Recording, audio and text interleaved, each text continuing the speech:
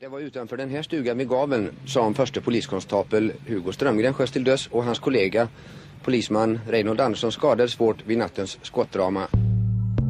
Det började sent på söndagskvällen den 18 april 1971 i den lilla byn Krokom utanför Östersund.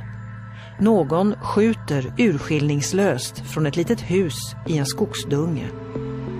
Det finns ju inte så mycket kvar av den här platsen överhuvudtaget. Men huset låg ju där uppe där den här röda garagelängan befinner sig nu. Som var totalt sönderskjutet dagen efter. Jag var ju den första patrullen där. Tillsammans med några andra. Jag hade bara fått uppgift på att det var eh, en man som sköt emot grannen. Det var jag och eh, Öpes fotograf eh, kom samtidigt. Så vi fick ju order om att inga blixtar fick användas. Vi låg bakom en varsin tall på andra sidan vägen här. Och där vart vi liggande för vi fick inte kliva upp.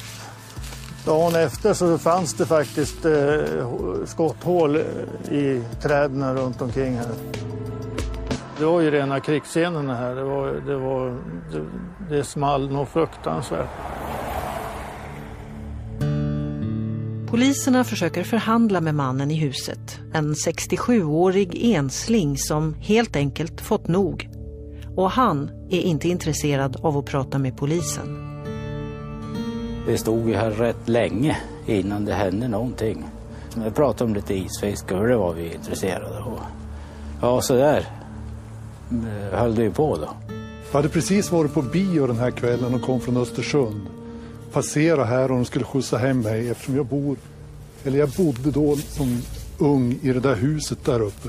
Här så ser vi alltså ett stort antal poliser i skottsäkra västar och reflexer. Och så springer de runt det här huset som den här mannen bodde i. Satt jag och tittade genom fönstret där och där satt jag sen natten igenom och följde det här dramat. Jag förstod att nu har det liksom nu har det hänt någonting med gubben. Alltså. För jag förstod att en dag kommer det att hända någonting.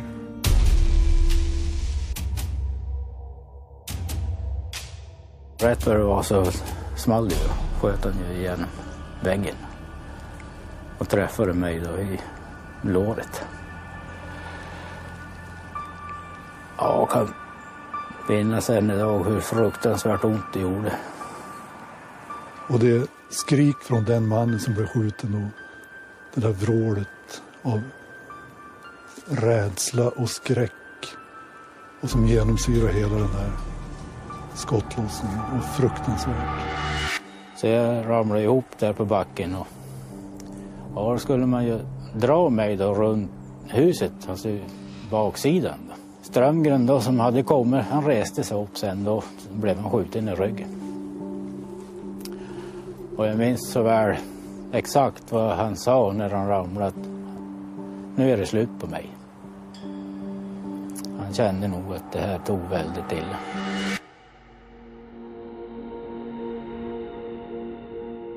Ja, den här kvällen ringde då alltså Aftonbladet och berättade att de hade hört ett rykte om en skottlossning i Krokom. Då, då begav jag mig dit och eh, då var det då fullt pådrag med, med eh, en polis som låg eh, död eh, bakom huset en bit och polisen som, som sköt allt vad de kunde mot det här huset för att få den här mannen att ge upp. Vilket han då inte gjorde utan han fortsatte och sköt och sköt väl allt, på allt som, som han såg rörde sig. Någon gång under kvällen så hörde man hur någon polis skrek det rör sig i gardinen. Gubben lever. Skjut för helvete. Det här pågick ju ända till morgonen. Att det var ju mer eller mindre krig. Men vid 6-7 tiden på morgonen så rekvirerade de ju då, eller de fick hit eh, rökgranater som de eh, avfyrade där runt huset. Och då kom man ut. Ställde ifrån sig vapnet, på första kvisten.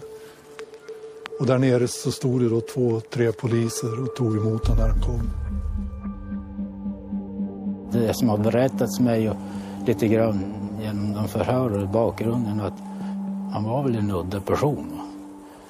Var väl mobbad som, som liten redan. Om inte jag har alldeles fel så var han väl född utom ett äktenskap och det var ju inte gångbart på den tiden i alla fall.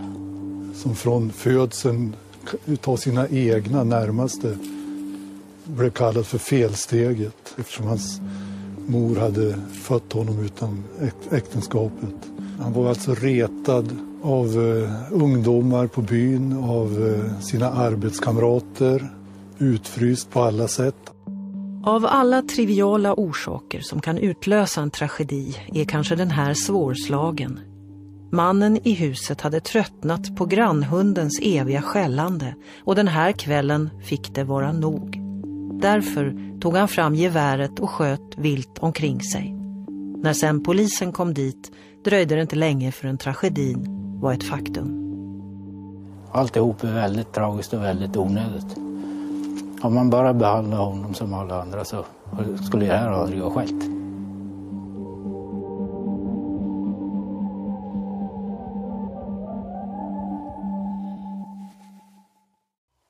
Han fick tokspel helt enkelt. Och sånt där med dödlig utgång då för eh, det händer någon gång vart tredje, vart fjärde år. Ja. Att folk med tillgång till vapen börjar skjuta vilt omkring sig för att de, de orkar inte med sin vardag längre. Och det var just grannens skällande hundar han fick eh, Ja. tröttna på. Plocka han fram en sån här. Ja, det här är vapnet som man använder. Det är Mauser 1900 och i äldre tider så var det det vanliga hemvärnsvapnet så det är väl säkert så att han har fått det. Det här är inte originalet men det är en likadan. Mm. Och det är en sån här, sån där, bara kolla att den inte är ladd. Nej, det skulle se ut. Ja, det skulle se ut. Det är inget i. Nej. Nej, det är flaggsäkring kallas det. för. Ja. Men det är en rejäl bössa det där alltså. Ja, värst. Den, den, den duger att ha ihjäl folk med om det är det du undrar. Eh, Men det finns naturligtvis mycket bättre. Då. Men vad, vad hade polisen med, med sina pistoler att sätta emot Ja, sån här? de, de fick ju så småningom dit förstärkningsvapnet. Och förstärkningsvapnet på den tiden var en k-pist. Ja. Kulsprutepistol. Den har en betydligt högre skottkapacitet än den här. Men ska man skjuta någon på lite längre håll, då är den här naturligtvis att föredra. Mm. Och, och det var illa nog. Då. Idag skulle man nog inte ha inlett det hela på det där viset som man gjorde. Varför inte? Nej, den första patrullen, de vet ju om att han, han skjuter. Va? Han Ja. har ju skjutit på grannen, han skjuter hejvilt.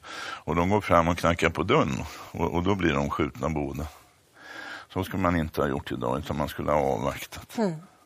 Nu sköts det en förskräcklig massa skott den här gången och jag tror faktiskt att om vi räknar i hela antalet skott så är det nog det är ett tillfälle då poliser har skjutit flest skott i, i svensk polishistoria i samband med ett ingripande. Jag, jag tittar lite på det där. Är, i den, den här gången måste det ha varit i, i storleksordningen över tusen skott. Så att, och de, de avfyras under en, ja, hela natten kan man säga. Mm.